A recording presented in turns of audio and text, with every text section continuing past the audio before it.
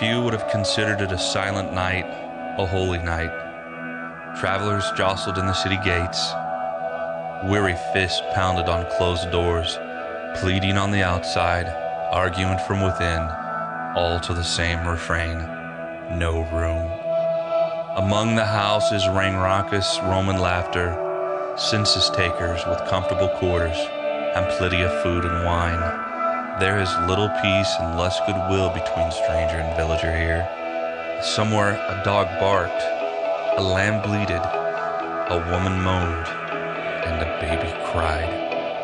Out on the hillsides, exposed to the cold night, without even a stable for warmth, shepherds huddled around the fire, guarding their flocks against thieves and wolves.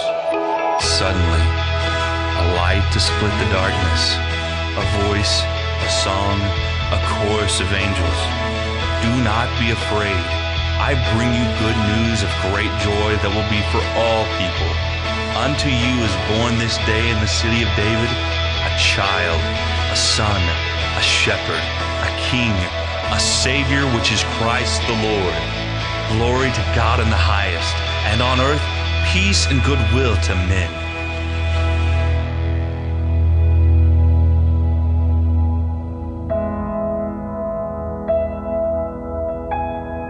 Awaken, O little town that cannot sleep. Hear the shepherd's words, the angel's message, and arise to a sound unfamiliar, the triumph of joy.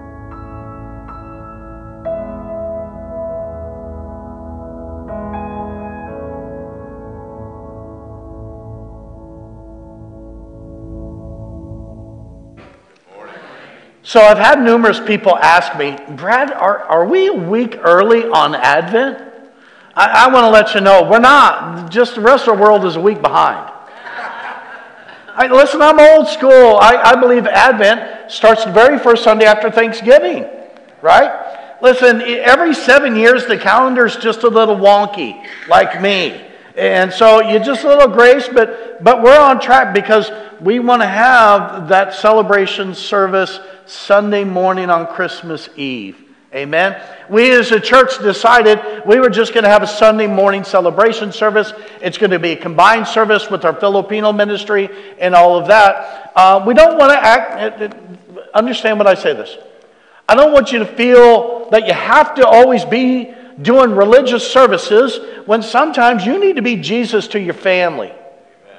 it's important at Christmas Eve to, you know, there's tons of churches to go to if you want, but sometimes I want to give our staff the ability to go home, to be with their families. And, and that's just not me. Susan and I are going to be her and I again, but, but we've got people up here playing on the platform that have children. And we have others, so we want them to be home. Does that make sense? And, and so we're just timing everything just right and believing God's going to fit perfectly in God's order. And we're going to have a great Christmas Eve service at 11 a.m. And, and then you can go home and, and eat whatever you want, just no pork as always, you know. You don't celebrate a Jewish man's birth by giving him pork, just so you know, right? A Christmas goose. I, I grew up on, on, stuff. You know, Ian's doing this program tonight. A Christmas goose is perfect. That, and especially if I'm the one who takes it out of the air, that's even better, right? But as we're moving in, today is joy, if you noticed earlier. And, and as we've progressed through this, we, we started thinking about some things, and, and it all originated in the little card we gave you um, early on. It's like, what do you need? Think about it what do you need for you to be okay? And by okay, I mean not just happy, not just joyous, but to be at peace. What, what do you need? What do you need to complete your life that seems to be missing? And, and many of you listed many things what you need. And we have Christmas, and you're going to get gifts, but I, I have a feeling what you need and what I need cannot be put under the tree. Right? I'm going to let you know God's already given me my gift. And there's many more gifts to, to be given, but, but what I needed you could not put under a tree. It's, it's what is in my heart. Amen?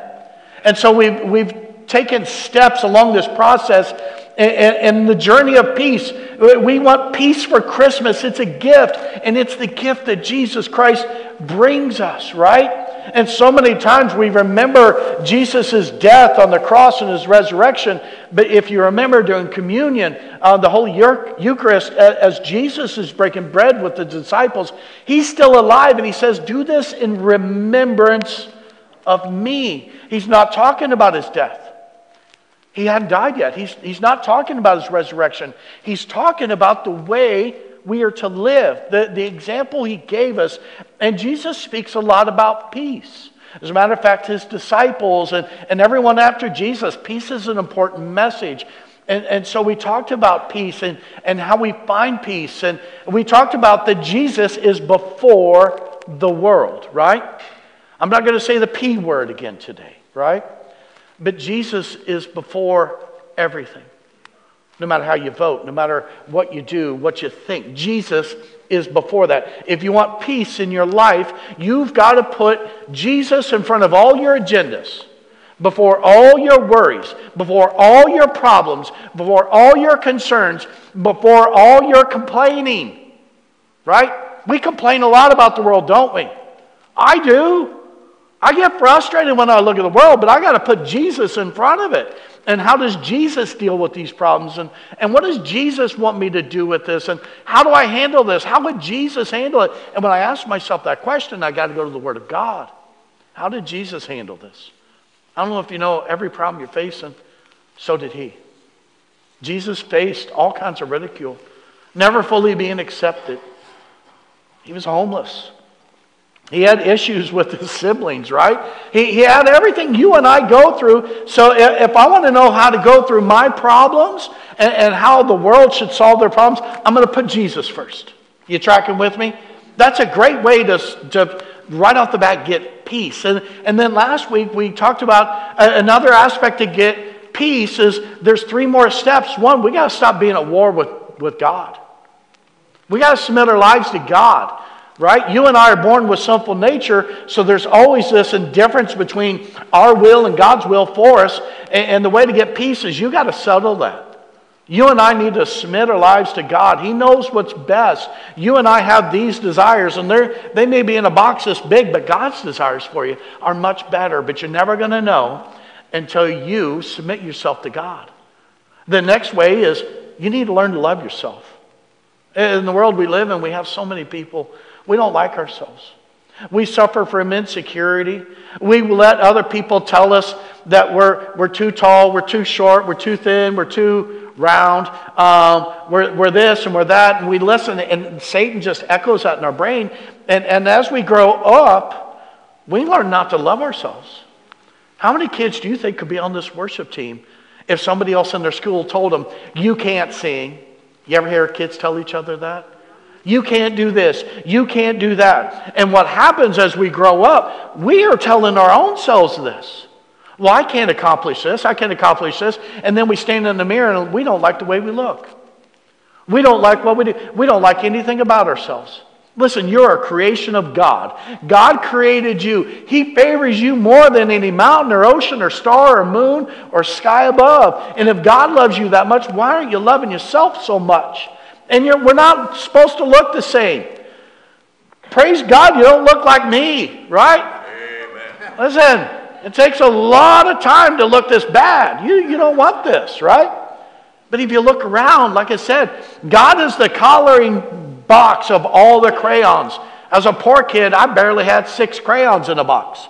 But God's box is a big crayon. So so love the melatonin in your hands and your face and, and, and love. If, if you're a woman, be happy you're a woman. I, I love a good, strong leadership woman. And I love a good, strong leadership man. That's the way God created you.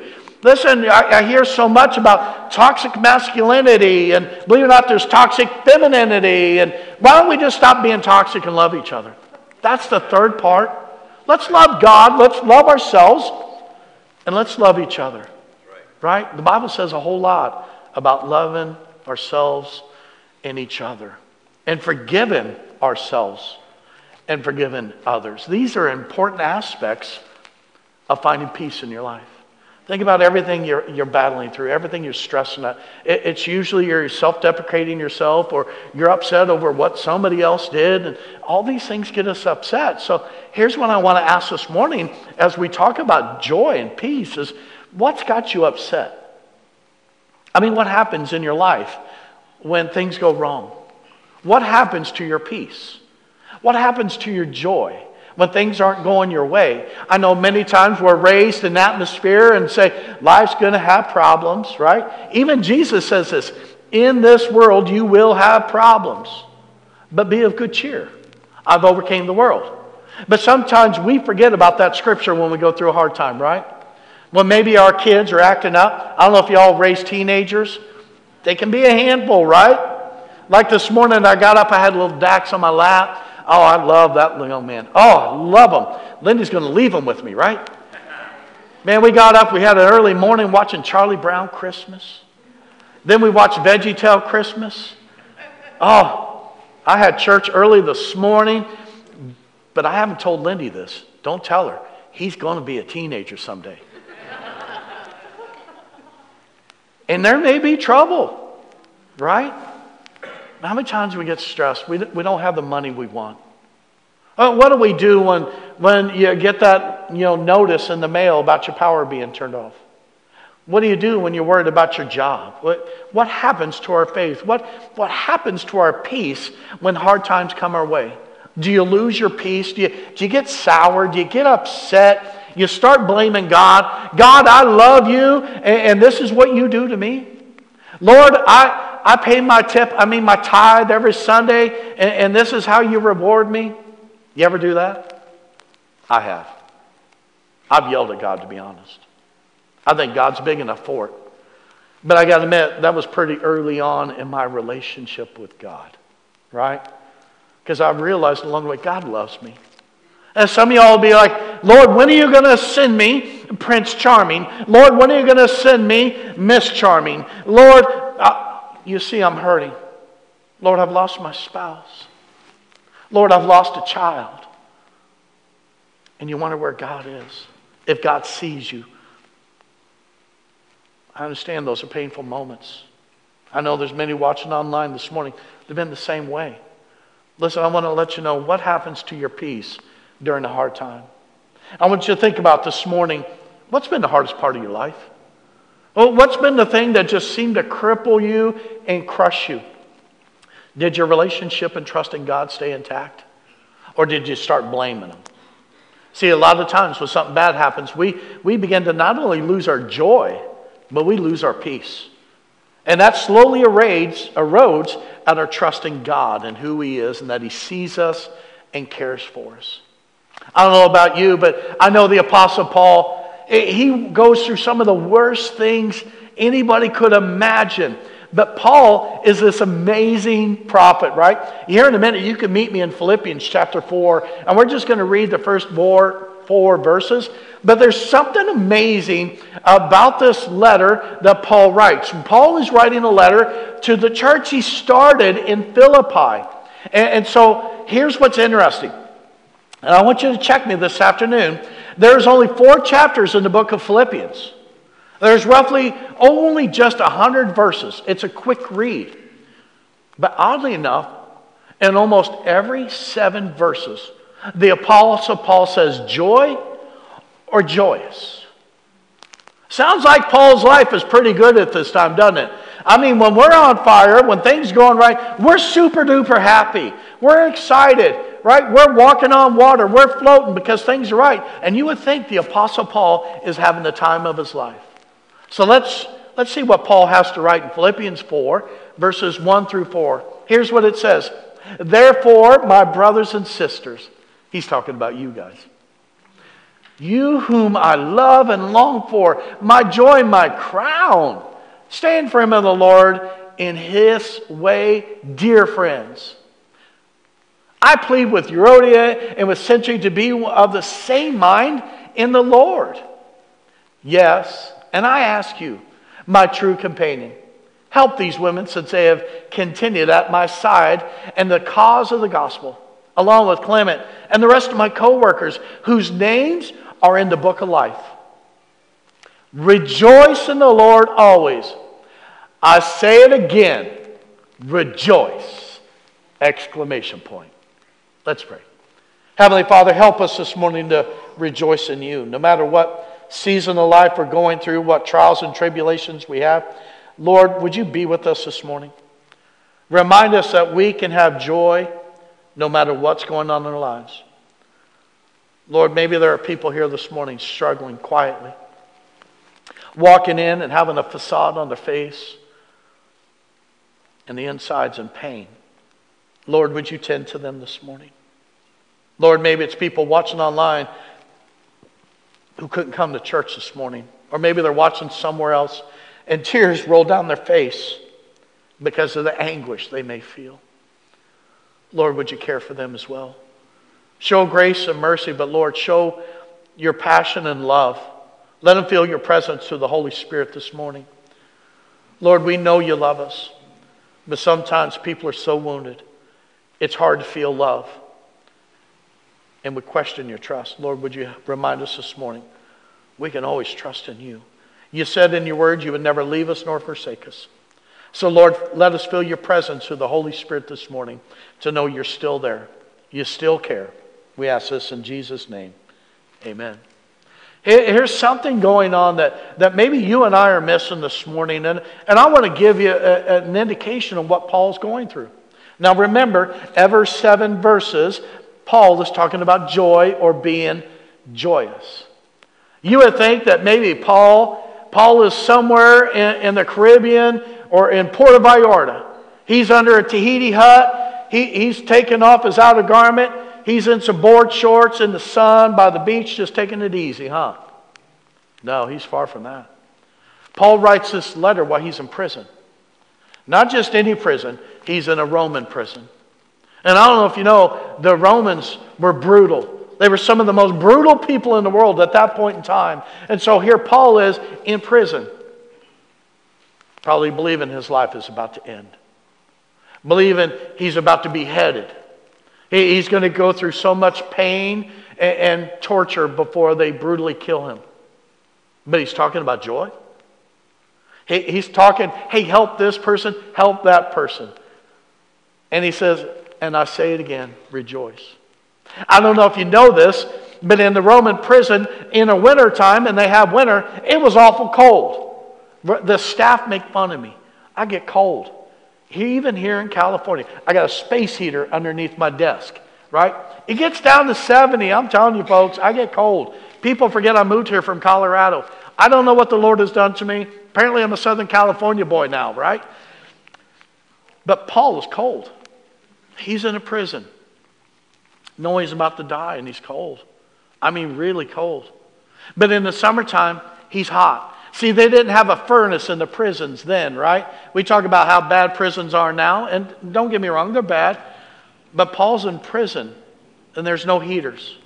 Matter of fact, there's not even air conditioning. I don't know if you've ever been around stone, sitting on stone or concrete when it's cold or hot.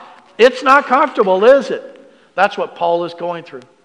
But the Romans, they were a little more sadistic than that. When it was the in between seasons, you know, the temperature is just right, they wanted to make sure that Paul was even more uncomfortable, so they would chain him to a Roman guard. Sound like somebody wants to talk about joy? Paul must have known something that sometimes we forget. Right? We, we go through hard times, and I'm not discounting the hard times you're going through or some of the struggles you're going through, but, but trust me, Paul's going through a really, really rough time. And I'll talk more about it here in a minute. But what did Paul know that, that maybe you and I are missing? Right? Paul has to know something that you and I don't for him to be in such a positive state of mind, to have his relationship with God intact, when so many times you and I go through something small, something trivial, and we get all bent out of shape, right? You ever think about that? You ever see somebody go through something really small and they're all bent out of shape? Eminem, the rapper, in one of his songs, he says this The hardest thing you've been through is your mama's purse, right? You mamas know when we took your money out of your purse, we were going to get a dollar and you probably whooped us for it, right? But you ever see somebody go through something just simple and they're in pain? But then you see other people go through devastation, right? You ever notice those going through devastation are almost always quiet? Because words can't even describe the pain they're going through. They just stand there and they have tears. But people go through a little pain, they're very vocal. They're always talking, they're always a victim. But those going through real pain, usually pretty silent. That's just a little knowledge for you for whenever you're ministering to people in the name of Jesus Christ. Because sometimes it's not the words you need to look at. Sometimes we got to look at people's eyes. And behind the eyes, we can see real pain, real hurt. And, and I believe God puts those people in your path for you to share your faith, for you to say a prayer with. Amen? You're tracking with me? But Paul is going through a hard time. And, and Paul's not being a victim, and, and Paul's not being quiet. Matter of fact, Paul has a different aspect. Paul takes a totally different view. He's like, hey, hey, help, help Euodia. Help Syntyche. Oh, oh, don't forget about Clement. Help Clement, right? That's old school, isn't it? When someone's those are old school names, by the way, right? But I don't know if you know, the, the Bible's kind of old, right? Eh, but Paul, Paul's like, help, help this lady and, and help that lady and, and help, help Clement because they help me. And so you need to help them while I'm not there. Paul is not worried about himself. How would you and I be in that time? Probably a little bit different, wouldn't we? I think we can learn how to handle things if we just put Jesus first. If we just put God first and we, we look in the Bible, hey, what are these people going through? How did they handle it? I think Paul figured this out because Paul knew the difference between happiness and joy. There's a huge difference. See, the truth of it is, we always say that, oh, happiness is exterior, da da da. Listen, I'm going to tell you now, here, here's the truth. Happiness is dependent on your environment, right? What's going on? What do you got? Or what don't you got? Or what's got you, right? That's a better phrase, that last one. What's got you? That seems to be our world these days, uh, doesn't it? It, it, depends on how much money you're making. It depends on if you got the degree you want, if your car's running good, if your spouse is being good to you, if your kids are walk, being perfect. Everything about our happiness depends on our environment. Our joy, this, depends on the relationship. You think about this. Your joy depends on the relationship. That relationship is a relationship with Jesus Christ, the one who died for you, the one who resurrected for you. I mean, listen, I, it, it, it's never happened in my house. It may have happened in your spouse We have an argument with your spouse. Never, never happened to me, never. right? We perfect, right? But you ever notice when couples argue, you still love each other? You know why? It's about the relationship. Same is true with God. You, you can be upset at God all you want. He still loves you.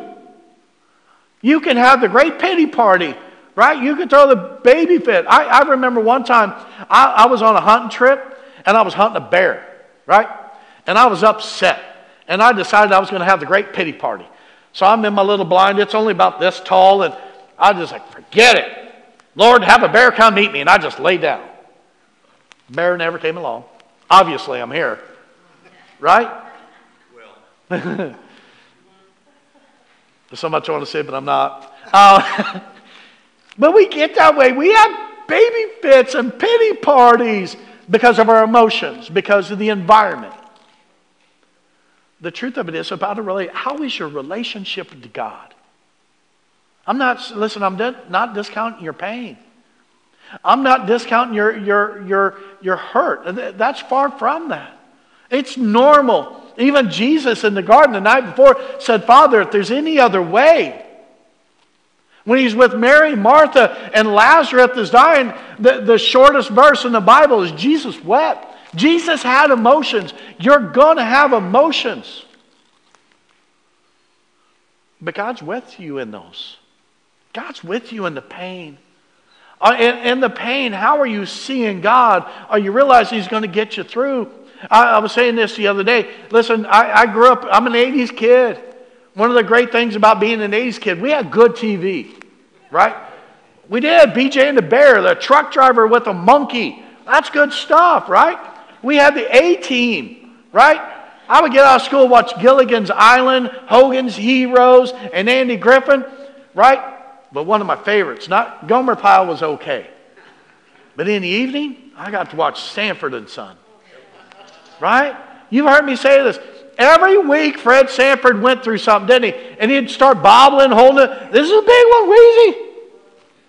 And we get like that. We think this is the one that's going to get us instead of realizing the one who got us. God's with you in those pains, God's with you in those. But I got to tell you, there, there, there's something missing.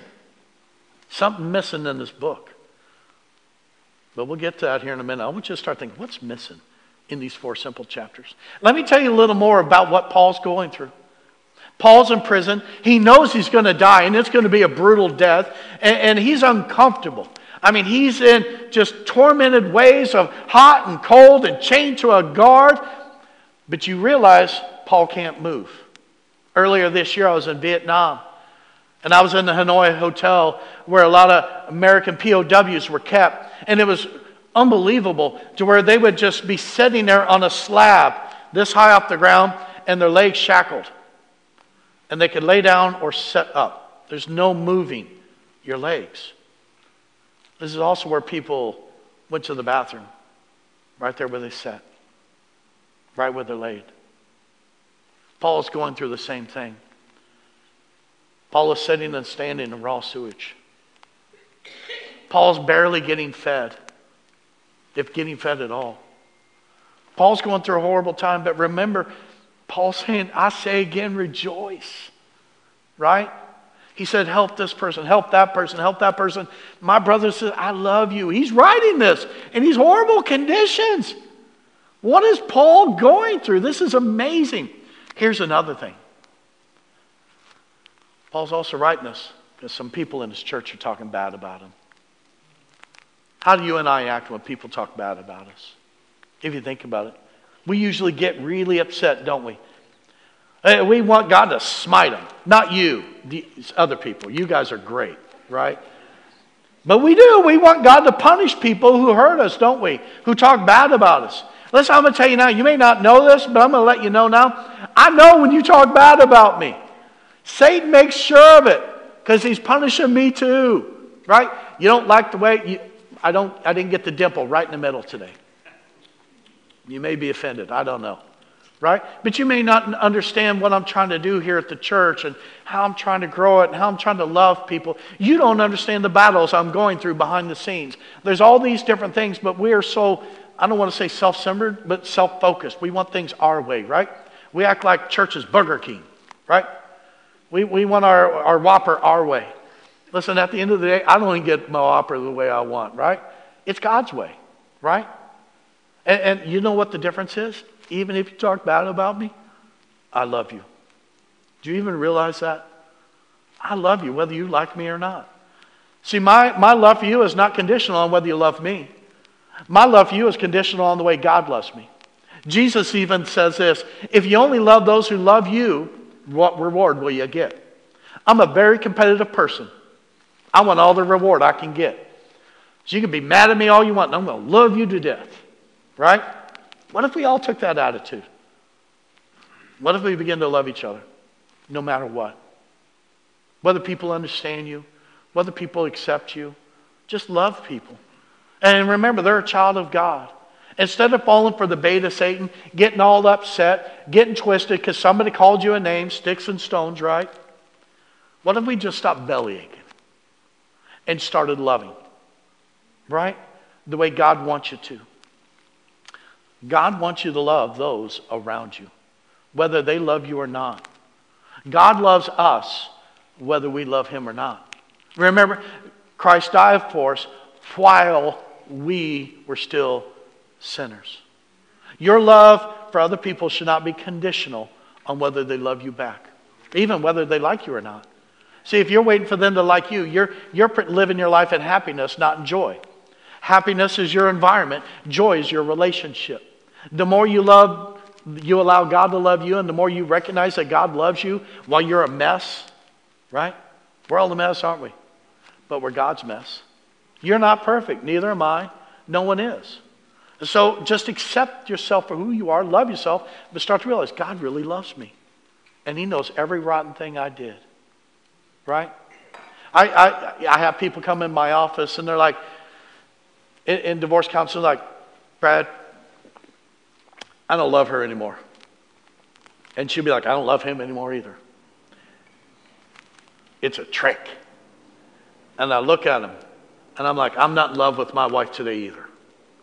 They're like, what? I'm like, I'm not.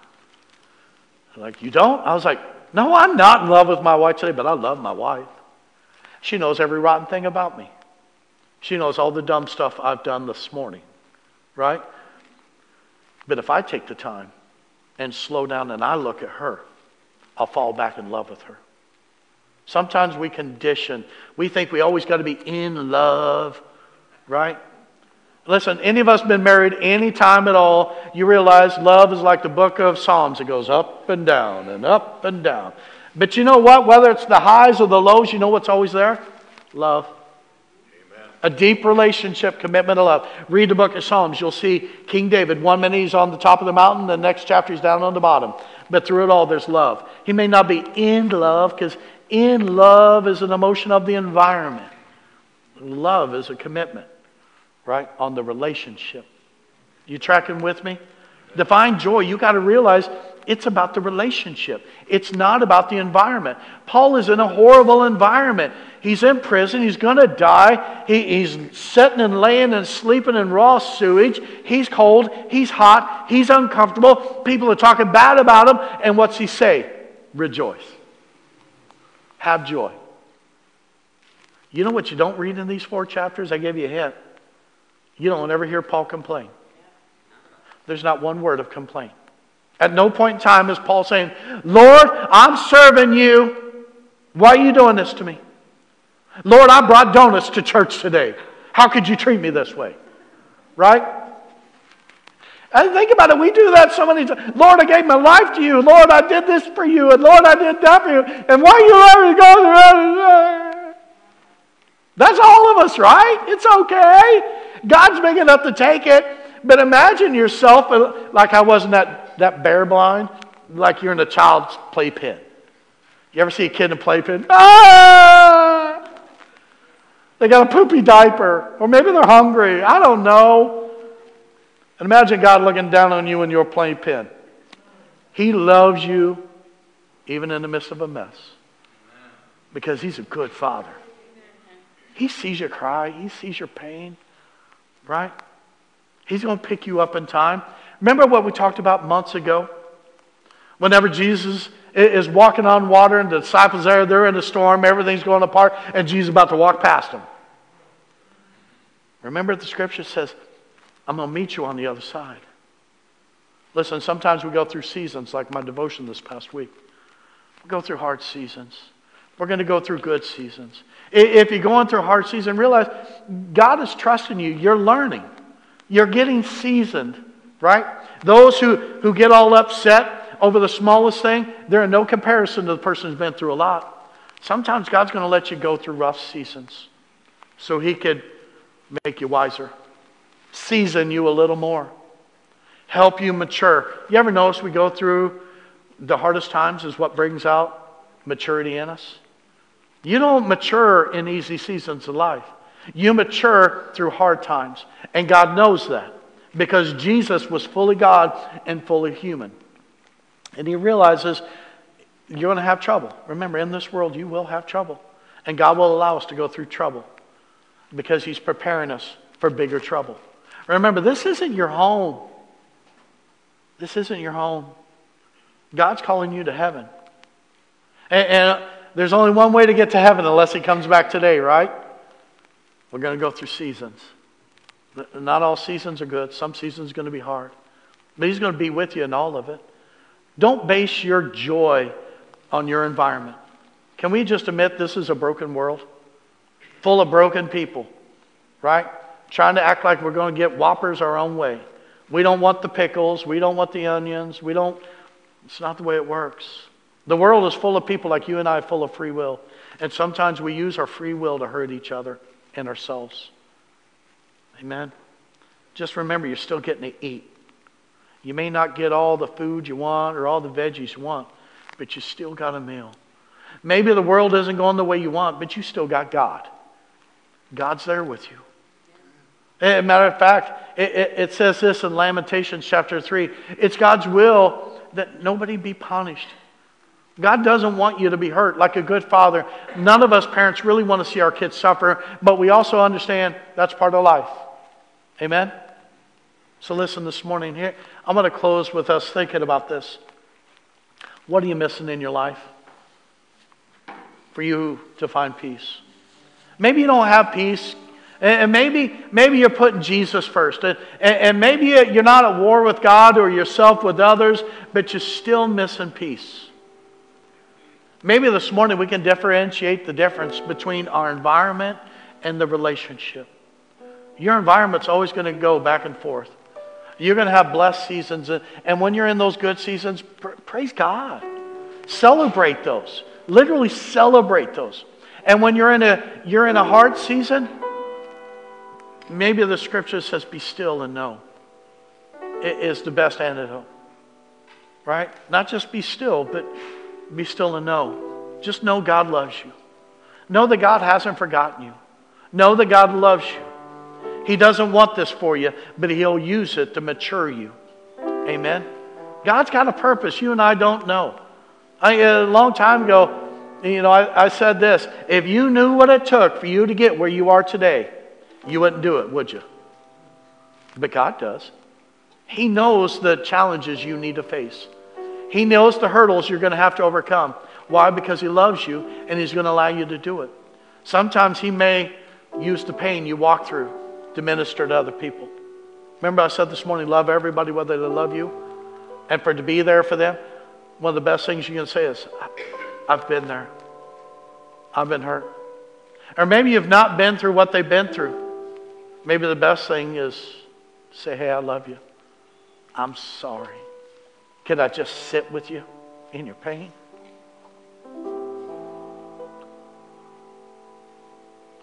God's a good God. He answers our prayers and our continued prayers. God is with you. It's about the relationship. Relationships are moments of joy and moments of tears but He's there through it all. I ask this this morning will you let God be part of a deeper relationship with you? That the environment around you will no longer bother it, it won't distract it. You're, you have a deeper commitment of love and peace, knowing that God's going to walk through with you all the way through till the very end. Amen. Can I pray with you this morning? Heavenly Father God, we love you. Father, be with us. Father, hear our prayers and our hurts and our pains this morning. Lord, would you tend to us? Remind us you love us. You've got a plan to get us out of the problems in our lives, those things that are tripping us up in our environment. Lord, while maybe we're not in a physical prison being tormented like Paul, Lord, I know many of us your children are here and around the world are in emotional prisons, shackled to pain, stewing in problems, not comfortable with what's going on in the world. Lord, would you chain yourself to us? Chain us that you be our guard. Not the guard of prison, but the guard of freedom. That you will protect us for when Satan, the evil one, comes and whispers and speaks and yells at us. Lord, we seek peace. Lord, give us our joy back that we can praise you in the middle of a storm. Lord, help us today. Lord, we know you sent Jesus Christ, your only Son, as a gift of peace. So, Lord, we receive him this morning. And Lord, also help us to be cheerful. Help us to be joyous sometimes in the midst of trials and tribulations. That this Christmas season and every day of life after this, we be in a season of joy, no matter what the world brings. We're going to praise you, we're going to call out to you, and we're going to thank you, even when we don't understand. Thank you, Lord, for trusting us for the seasons in our lives that we don't know. We know you have a plan. And Lord, we'll have faith. We'll blindly follow you in these seasons because we know you know best. Our plans always fall short, but your plan is always bringing the greatest. Lord, thank you for this wonderful church. Thank you for those who are here physically today and those watching online. Lord, thank you for the Redeemer who redeems us, each and every one of us, when we call on to him. We ask this in Jesus' name. Amen.